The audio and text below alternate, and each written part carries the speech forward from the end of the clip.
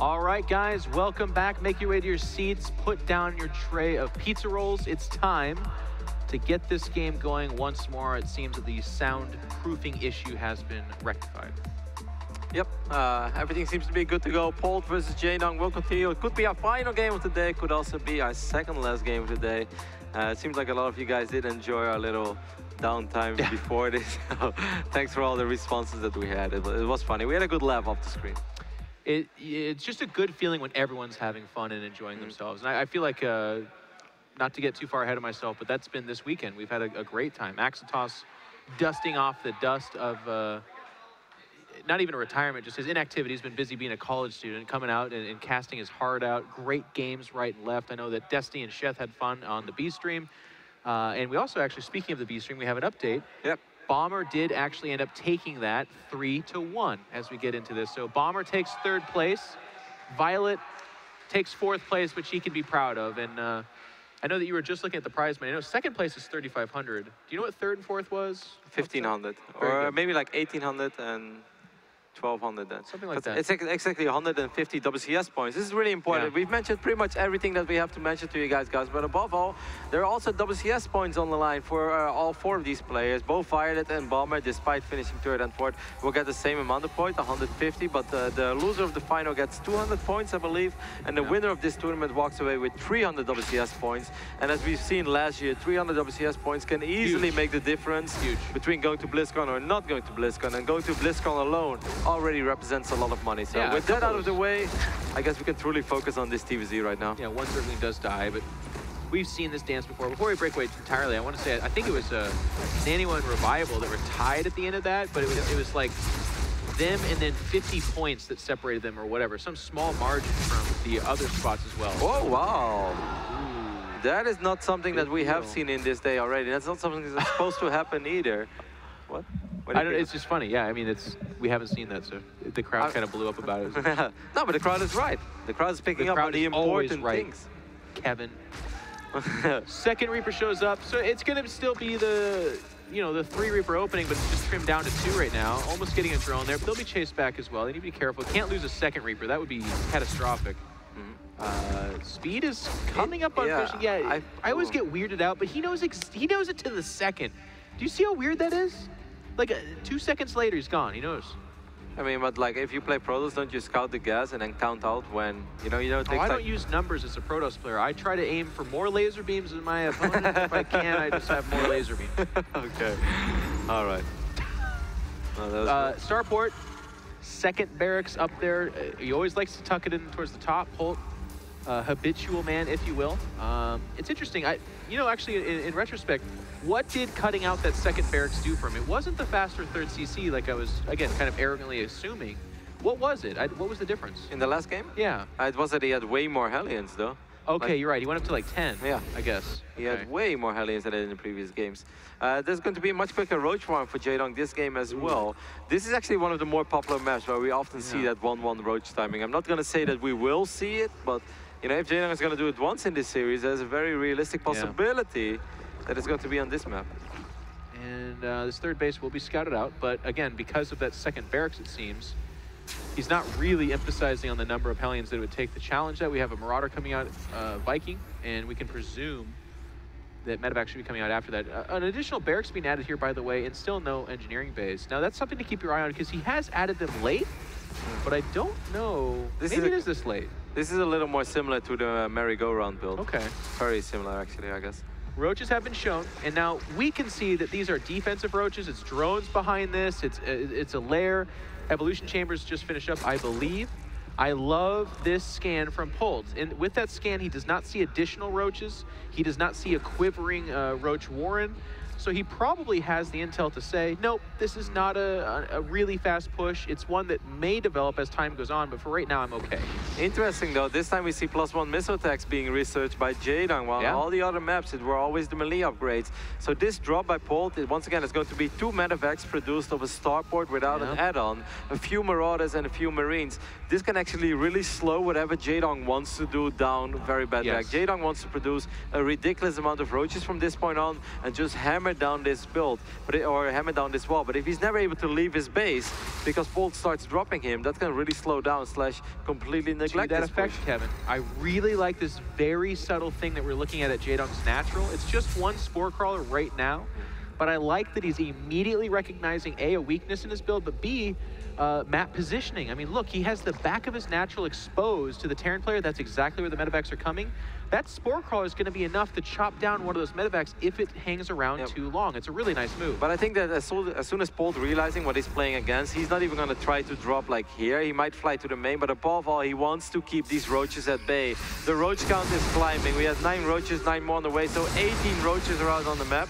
Polt actually is going to stim in, but he also still has these Hellions over here Yeah, Hellions from the high ground. third. They're gonna hit from the high ground. The drop at the natural is unfortunately not doing as much damage. He's fighting against Zerglings. But the Hellions getting some pretty good work done there. To be honest though, Kevin, it's kind of interesting. If they would have gone to the low ground, these might all be dead, these drones. From the high ground, actually, I feel like Jaedong, it Yep. could have been worse, is the point I'm trying Yeah, to make. Jaedong didn't really have anything there. Like if he leaves a couple of roaches behind, then like doing it from the high ground better to just swing around, but it's something that Polt couldn't have possibly known. That roach count is still going up. Jaedong on 65 drones right now, but he's also producing crazy amount of roaches. And Polt is gonna have to babysit these units, Jeff, because he doesn't really have a whole lot of units. I still think Polt is doing good though, because I feel that he knows what is going on. How many bunkers do we have? Just one. He needs to put these Marauders You in. He needs to pull SCVs. It's interesting. He's not building bunkers. He's only building Marauders off of one barracks. He's actually adding another reactor. Oh, yeah. I don't know if he identified this somehow. It- it's really Ah. weird, but if he did, then his response is super strange. It should be fine now with these two. One Widowmine actually gets picked off, but still there are Uh, quite a few is not fine, Kevin. Wow.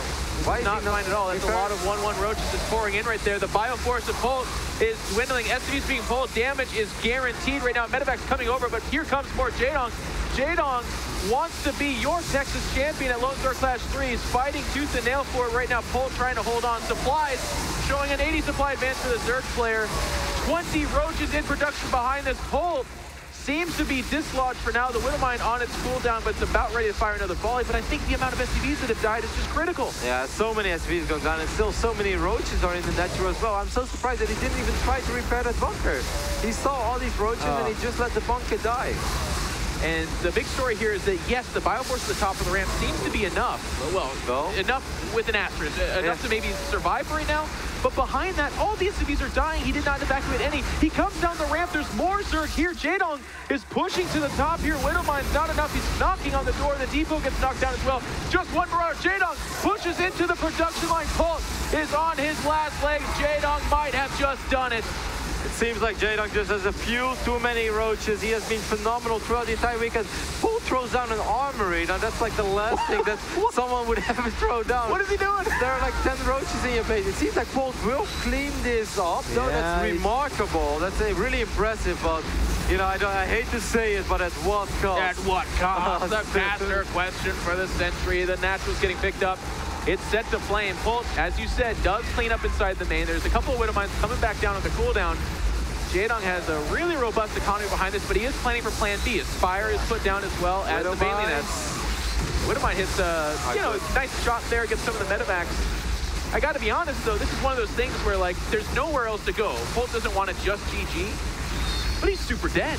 He's Uh, very dead. He's still losing SCVs, only 11 SCVs remaining, but he will stabilize. The It- armory did complete Yeah. though, which now gives him access to 2-2. to 2-2.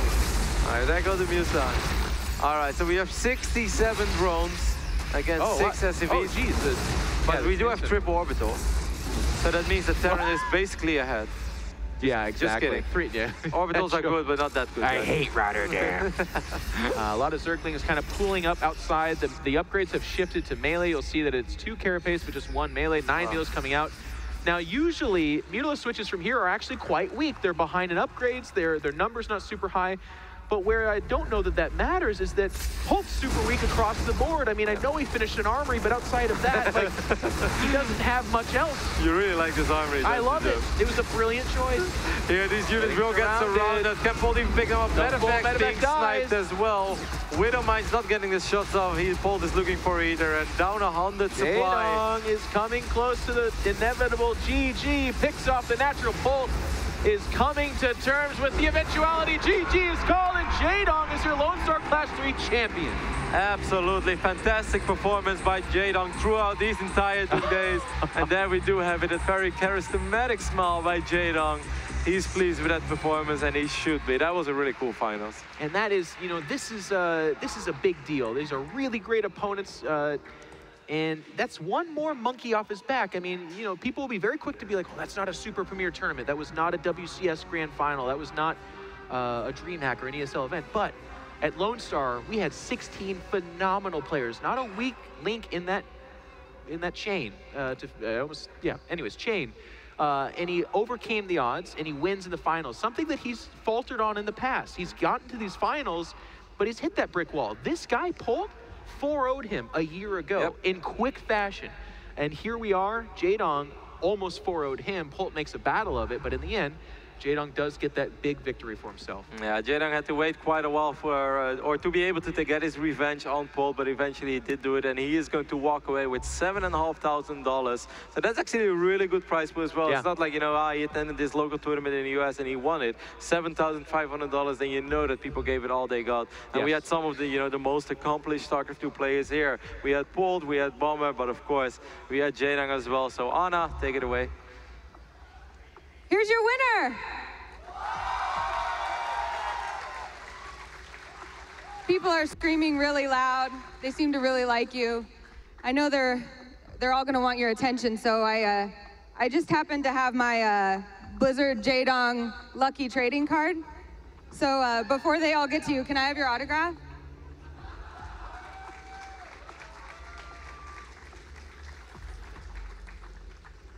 Sorry, suckers, I cut you in line. Awesome. So, Jaedong, you are first place. you are first place at Lone Star Clash 3. How do you feel? Uh, very happy and before WCS I lost uh, port mm -hmm. 04. So today finally I beat him so I'm very happy.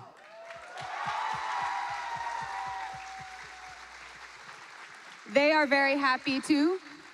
Do you want to say anything to them? Uh, thank you for here, cheer for me, and uh, yes, be be beautiful life. Well, it is my pleasure to present to you the Lone Star Clash Trophy the Lone Ranger of Lone Star Clash 3, E.G. Jaedong.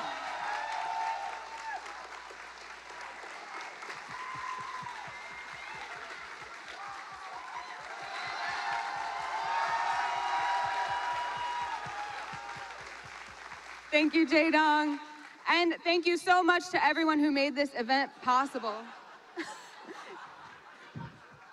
He can bring it back with him later. Thank you so much to everyone at UT and everyone at Well Played. If you see anyone in those red shirts or those black shirts, please tell them thank you. There are a lot of volunteers that donated their time to make this possible, and they've done a great job. Also, of course, thank you to all of our sponsors. You saw them up there, Blizzard, Twitch, Alienware, AverMedia, Gamer University, Gaming, uh, Gaming Academy, and BenQ please uh, tweet them, show them some love, let them know you appreciate it. Thank you guys for joining me. I really appreciate it as well. I'm Anna Prosser Robinson. I hope I get to see you again soon. And I believe we have another word from our dashing, handsome, and wonderful husbandy casters.